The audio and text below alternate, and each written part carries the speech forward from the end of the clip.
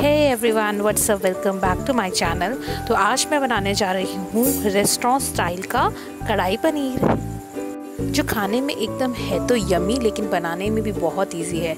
कुछ चीज़ें होंगी जो बाहर की होंगी, लेकिन सब आपके किचन में अवेलेबल हो जाएँगी इजीली यहाँ पर मैं तीन बड़े टमाटर और तीन बड़े प्याज और लहसुन अदरक ले रही हूँ। और यहाँ पर तीन प्याज और दो शिमला और एक्स्ट्रा लेनी है हमें। जो मैंने तीन प्याज और शिमला मिर्च ली थी, उसको क्यूब्स में काटने हैं और यहाँ पर मैंने जो तीन प्याज, टमाटर, लहसुन पहले लिए थे, उसको लंबा लंबा काटना है।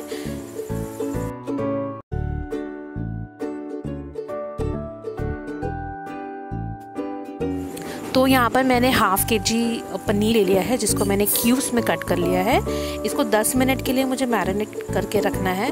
मैरिनेशन के लिए सिर्फ़ मुझे एक लाल मिर्च पाउडर चाहिए और हाफ़ नींबू चाहिए। है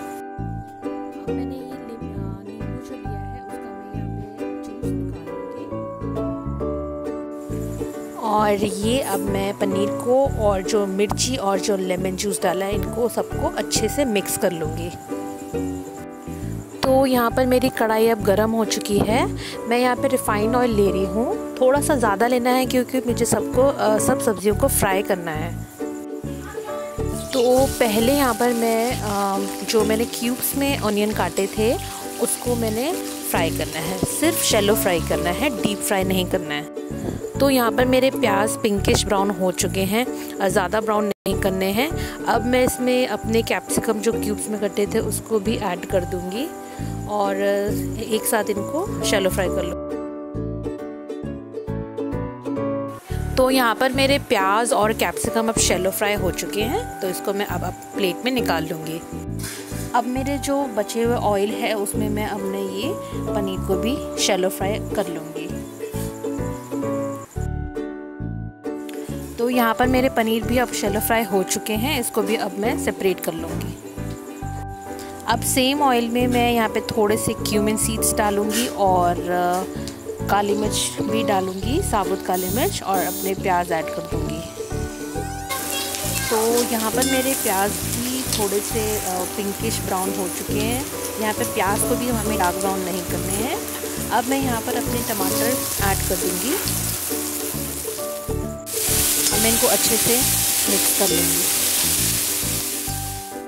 अब हमें अपने पूरे मसाले को ज़्यादा नहीं पकाना है कच्चा कच्चा ही रखना है। अब मैं इसमें अदरक, लहसुन भी ऐड कर दूँगी और मिक्स कर लूँगी। तो अभी फ़िलहाल मुझे अपने सारे मसाले ऐड नहीं करने हैं, सिर्फ़ हल्दी डालकर इसको अच्छे से मिक्स कर लूँगी। अब मेरे ये जो मसाला है, हमें ज़्यादा नहीं भुनना है। हल्का हल्का लाइट ब्राउन टाइप ही भुनना है। ये मेरा मसाला डन हो गया है, अब मैं इसको निकाल लूँगी। तो ये जो मेरा मसाला है, अब ठंडा हो चुका है। इसको मैंने एक प्लेट में निकाल लिया था ठंडा करने के लिए। गर्म नहीं डालना अपनी ग्राइंडर में, नहीं तो मिक्सी भी ख़राब हो सकती है।